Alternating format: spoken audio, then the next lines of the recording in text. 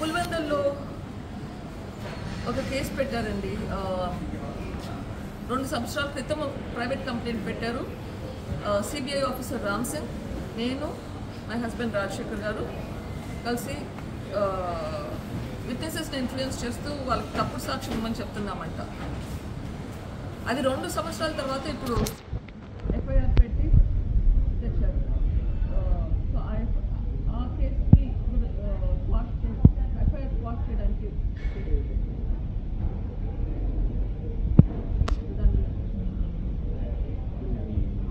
వివేక cinema విషయంలో కోర్టుకు వెళ్ళారు దత్తగిరి ఆ సినిమాలో ఉన్నది మీరు వాస్తవం అని భావిస్తున్నారా? ఎందుకు దాని మీద ఇన్ని ఎలిగేషన్స్ వస్తున్నాయి అది సినిమా అనాలో డాక్యుమెంటరీ అనాలో ఏమనాలో నాకు తెలియదు. ఆ, అది దాని అది ఎవరు చేశారో ఎప్పుడు చేశారో కూడా అసలు ఎవరు చేసినా కానీ చాలా ధైర్యంగా చేస్తారు దాంట్లో పర్సనల్ ఇష్యూ ఇష్యూస్ కొంచెం స్లైట్ డిఫరెన్సెస్ ఉండొచ్చు రియాలిటీలో కానీ ఆ సినిమా చూస్తే last part last half an hour చూస్తే చూడడానికి నాకే భయం వేసింది. భయపడ్డా. కళ్ళు మూసుకున్నాను చూడలేకపోయాను. కానీ యాక్చువల్గా అయితే కదా రియాలిటీని తలుచుకుంటే ఆ సినిమా చాలా లైట్గా తీశారు. రియాలిటీ ఇంకా చాలా ఘోరంగా ఉంది.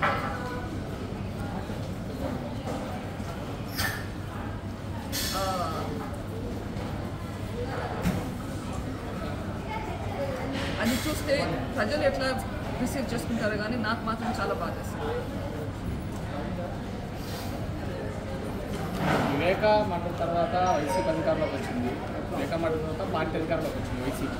అప్పటి నుంచి ఏం మాట్లాడలేదు. ఇప్పుడు ఎలక్షన్ వస్తున్నప్పుడు తిరిగి సీఎం మీ అన్నగారు ఈ సభలో కూడా వివేక మఠం గురించి ప్రస్తావిస్తున్నారు.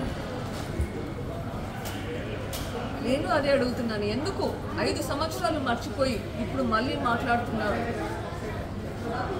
మా అన్నగారు దీని గురించి అసలు మాట్లాడనే మాట్లాడలేదు. ఒక అసెంబ్లీలో ఒకసారి అవినాష్ను ప్రొటెక్ట్ చేసేదానికి తప్పనిచ్చి మాట్లాడనే మాట్లాడలేదు. ఆయనను ప్రొటెక్ట్ చేయడానికి మళ్ళీ కర్నూలులో ఎట్లా పోలీస్ మెషినరీని వాడుతున్నాడో తెలుసు. ఇప్పుడు మళ్ళీ మాట్లాడుతున్నాడంటే అప్పుడు హత్య చేశాక రాజకీయాలు రాజకీయాలకు వాడుకున్నాడు?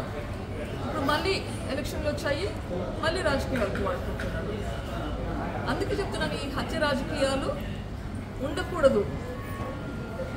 హత్య రాజకీయాలకు మనం చాలా దూరంగా ఉండాలి. మన రాష్ట్రం బాగుపడాలి. మన రాష్ట్రం బాగుపడాలి మన రాష్ట్రంలో ఇండస్ట్రీస్ డెవలప్మెంట్ అనేది జరగాలి.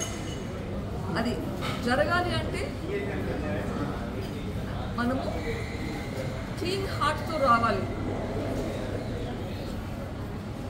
మన హృదయం మనం శుద్ధి చేసుకొని రావాలి. ఇక్కడ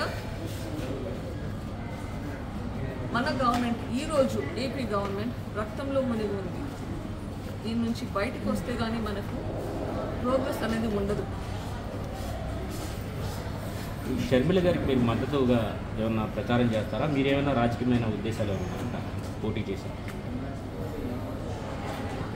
నేను ఎప్పుడు పాలిటీషియన్ కాదండి ఇప్పుడు ఎందుకు బయటకు వచ్చాను?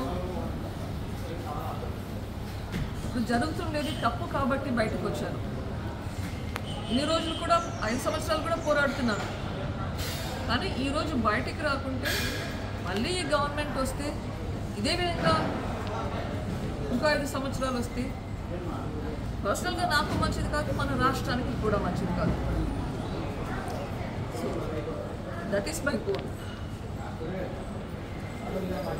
ఎస్ నాన్నగారికి ఆశ ఉంది ఉండేది. షర్మిలాని ఎంపీ చేయాలని చెప్పి. That is a fact